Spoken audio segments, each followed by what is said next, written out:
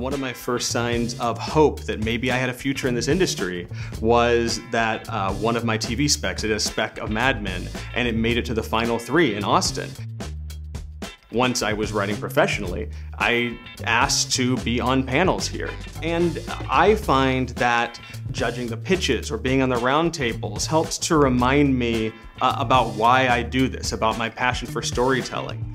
Uh, and it's also a chance to meet up with other people in the industry, maybe people who work in New York or work in different parts of film or TV that I'm not normally a part of. The speakers and the panelists are so approachable, so if somebody was in one of my panels and had a question that they didn't get, I didn't get to, they can approach me at a party later or at the hotel or, or something along those lines and I can talk to them. I can have a longer conversation and help them out.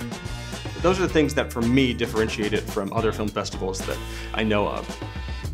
As a big genre guy, I love being on panels at Comic Con. That's a fun thing, but I don't feel like I'm making the same impact. The ability to sit in a small group with a working film or, or TV writer or producer or director is really invaluable. It's something that is worth supporting.